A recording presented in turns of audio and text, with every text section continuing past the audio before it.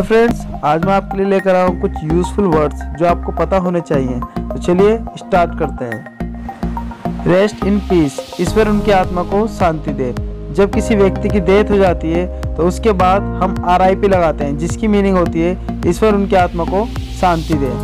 Mortuary सब गिरे mortuary का मतलब होता है सब गिरे जहाँ पर मुर्दे को रखा जाता है। फुरिनल हाउस अंतिम संस्कार का घर।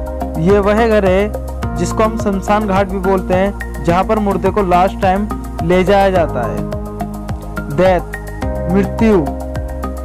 डेड मुर्दा। सोल रू फुनिरल अंतिम संस्कार। बियर अर्थी। पैर चिता। बड़ी दफनाना। कफन सब पेटिका जिसमें अर्थी को ले जाया जाता है।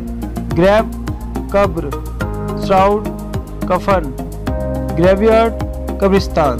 तो फ्रेंड्स ये थे आज के हमारे कुछ इम्पोर्टेंट वर्ड्स आप इनको ज़रूर लर्न करना। और अगर वीडियो पसंद आए हो तो लाइक करना ना भूलना। धन्यवाद।